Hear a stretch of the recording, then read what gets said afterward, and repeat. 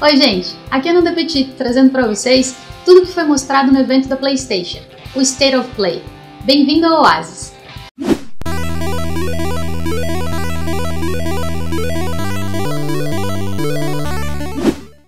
E se você gosta desse tipo de conteúdo e quer ficar por dentro de tudo que está acontecendo no mundo dos jogos e tecnologia, considere assinar o canal, clica no sininho para receber notificações e compartilhe esse vídeo com seus amigos.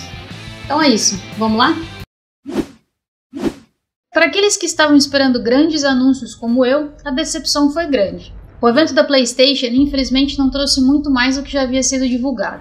E apesar de não ter passado no evento, já posso adiantar que Gran Turismo 7 foi adiado por causa da pandemia e só será lançado agora em 2022. Ratchet Clank Rift Apart já tem data de lançamento confirmada para 11 de junho de 2021. Horizon Forbidden West e God of War Ragnarok são duas incógnitas, porque apesar de ambos terem seus lançamentos previstos para esse ano, até o momento não há nenhuma data confirmada pela empresa. Agora é torcer para que as notícias boas cheguem logo, e enquanto isso a gente dá uma olhadinha no que o State of Play trouxe hoje. Começamos a noite com Crash Bandicoot 4 It's About Time. A continuação da saga de Crash tem lançamento para PS5 confirmado para o dia 12 de maio e promete trazer o jogo agora em 4K 60 frames por segundo, áudio 3D, suporte para DualSense, além do upgrade gratuito para quem comprou o jogo para a geração de consoles anterior. A Housemark Game fez uma apresentação de Returnal, jogo de tiro em terceira pessoa com lançamento para o dia 30 de abril. Nessa história de ficção científica, o jogador na pele de Selene faz uma aterrissagem forçada num planeta que muda de forma e precisa procurar nas antigas ruínas por uma forma de escapar. Knockout seria um jogo de ação, uma espécie de queimada ou dodgeball virtual, e vem com a promessa de ser um jogo crossplay, ou seja, você pode jogar com pessoas de diferentes plataformas. Um teste beta fechado do jogo está planejado para abril e você pode se inscrever no site oficial. Eu deixei o link na descrição do vídeo.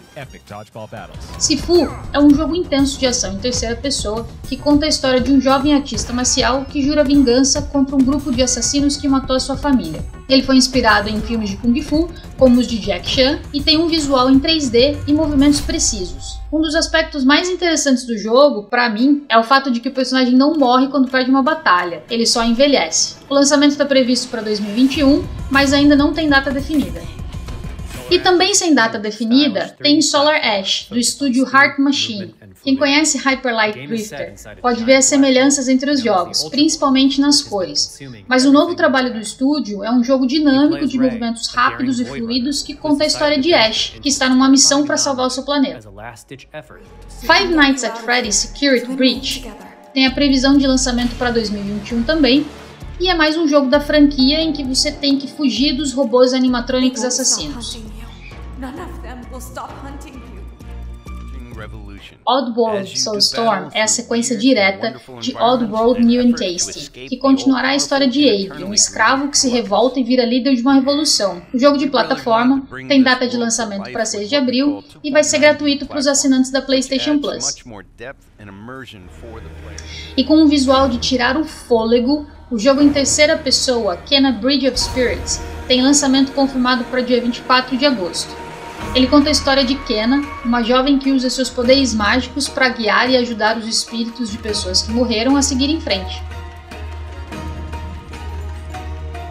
O tão esperado Deathloop, o jogo da Bethesda, tem lançamento confirmado para o dia 21 de maio. Ele é um jogo de ação e aventura que vai transportar o jogador para a ilha de Black Reef, onde a eterna batalha entre dois assassinos extraordinários determinará o futuro.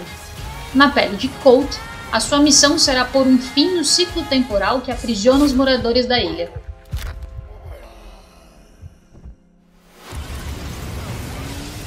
E por fim, Final Fantasy VII Remake tem a versão otimizada para a nova geração disponível dia 10 de junho, com todas as vantagens do PS5.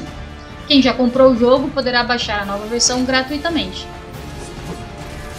É legal de lembrar que muitos desses jogos são multiplataforma, e é por isso que eu vou deixar na descrição do vídeo todos os detalhes. Então, gente, esse foi o resumo do State of Play. Espero que vocês tenham gostado. Deixa aí a sua curtida e até a próxima!